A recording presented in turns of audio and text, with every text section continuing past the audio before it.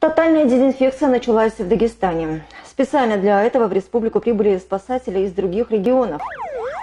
Так, Донской спасательный центр уже приступил к работе в Хасавюрте и Кизляре. Приезжие спасатели проводят спецобработку в Центре традиционных культур народов России, образовательных и административных учреждениях, а также на детских игровых площадках и центральных улицах населенных пунктов. К работе привлечены 60 человек и 12 единиц техники. Напомню, специалисты Донского спасательного центра прибыли в регион из Ростова-на-Дону накануне.